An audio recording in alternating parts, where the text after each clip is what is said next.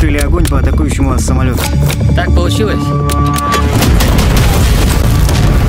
Выйти во фланг центральной линии.